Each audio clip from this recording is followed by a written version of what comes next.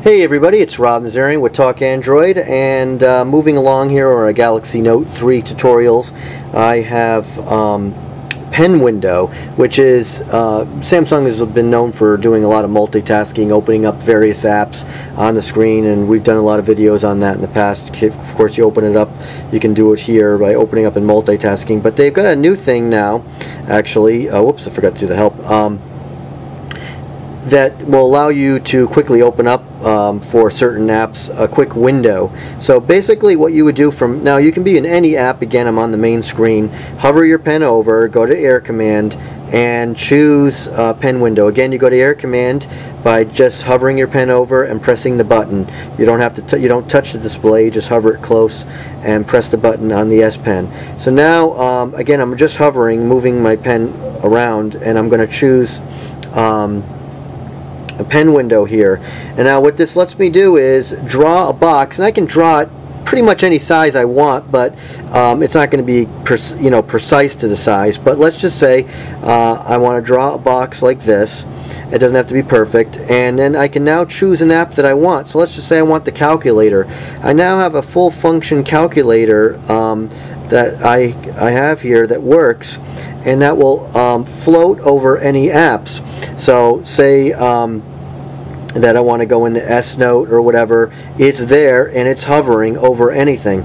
And of course, uh, sometimes when you hit, when you go out of certain things, it becomes minimized and it becomes like a chat head here, and you can bring it right back. And you can also minimize it by hitting the uh, minus right there, and you you can have this going you know around, so you can have quick access to it all day, especially if you use a calculator. Now you want another app? No big deal. Just uh, hover the pen over again and press the button, hit pen window, and draw another box.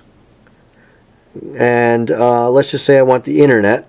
Can't use Chrome, but you got the internet. And there's a Talk Android web page. And again, I can minimize.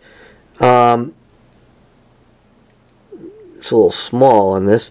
Uh, and I can move these around. I can leave them on the screen just like I said, they're like chat heads, and then I can quickly go to them later. Now, if I want to maximize it, I can go like this and maximize it, but I can't go back. For I haven't been able to figure out how to go back. Um, but uh, once you go back, uh, it'll be gone. And so the same thing here. This is here, and I can actually close it by hitting the X, and it will be gone. So um, it's pretty slick. Uh, again, if you have much use for it, I don't personally, but I think if someone uses a calculator a lot, they might uh, want that. Um, you can have your contacts in there and have that as a as a little floating head there, um, and then you can you know quickly go to it. And so, you know, if you use your contacts a lot rather than hitting here, you just open up that and then scroll through it. And again, if you you you you can use this for different things. So if you're browsing the web or you're looking at emails and there's some and you work with numbers a lot, then you can quickly, you know, you're reading an email and you just tap this and then you can do some calculations and then, you know, minimize it again. It's it's pretty cool. So, anyways, that's pen window um, and, and uh, like I said, you can have multiple ones on the display. Uh, it's just another um, way for Samsung to um, incorporate multitasking and now in the Galaxy Note 3 and part of Android 4.3 so I imagine this will hit other uh, devices uh, with Android 4.3 so um, so there you have it. Pen window. Hope this helped. Thanks for watching. This is Rob Nazarian with Talk Android